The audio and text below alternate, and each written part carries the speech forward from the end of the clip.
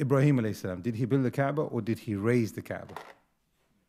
Difference of opinion. Some of them said the Malaika established the Kaaba. Some of them said Adam alayhi salam established the Kaaba. And some of them said that Ibrahim alayhi salam established the Kaaba. One of the views or one of the arguments to support the view that it wasn't Ibrahim, ويرفع إبراهيم قواعد من يرفع the قواعد which were already there is and I'm just mixing up the evidences, but one of them here is that the Kaaba must have already been there if he's lifting up the foundations. The foundation's already there, he's just building upon the foundations.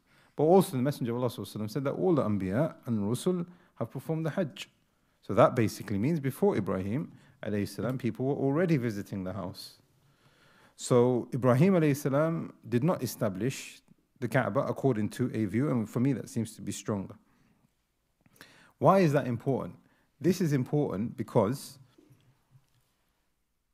the children and the progeny of Sam spread in that region.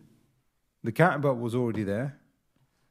From the children of uh, Adam we've got Nuh. They're visiting the Kaaba, performing Hajj. Perhaps not in the way that we've got it, but they performed Hajj.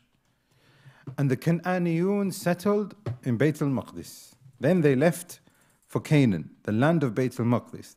They lived there for a while in Haran, the land of the Chaldeans, I don't know if that's how you say it at that time, and then they li- lived in the lands of the Arabian Peninsula and Syria. So it was known as the Arabian Peninsula at that time. How? Because the progeny of Sam were the pure original Arabs, and they dispersed in the land, and a group of them, were known as the Cananiyun or the Canaanites, Bayt al-Maqdis. So now, again, very important and timely, and it's important that we understand our religion and our tariq and our tafsir, that these people who are there right now in Gaza, in the West Bank, etc., a lot of these people, their lineage goes all the way back to the Qan'aniyun. So for a group of people to come afterwards and say, no, we have more right to this land because of something else that happened in history far, far afterwards, because Ibrahim alayhi salam goes to stay with the Cananiyun. So now you're saying that you're from the lineage of Ibrahim alayhi salam when Ibrahim alayhi salam already established that there were already Arabs there. Understand that point? So then you can't come out and say, right, it's ours.